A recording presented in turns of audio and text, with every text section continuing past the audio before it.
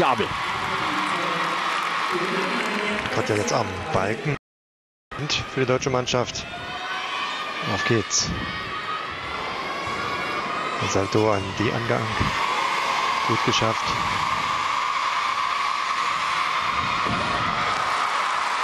Oben bleiben.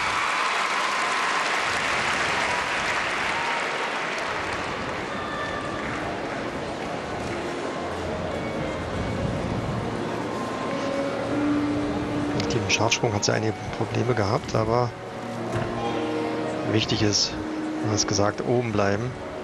Weil jeder Sturz von Gerät 0,8 Abzug. Und das ist schon immens.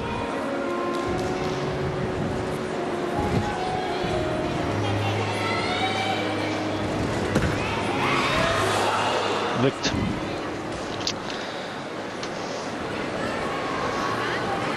Ja, damit ist man wieder mit der Ukraine gleich auf sozusagen, durch den Sturz der Ukrainerin. Skoba beim Abgang vom Stufenbahn gleicht sich das wieder aus.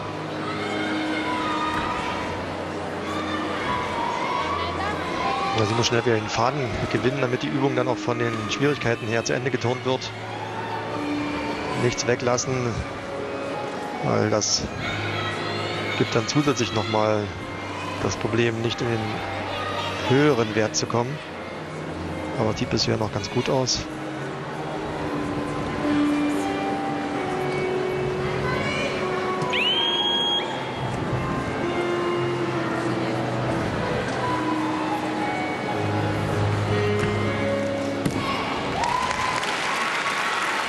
Ja, sehr angespannt, Katja Abel, die Berlinerin am Schwebebalken.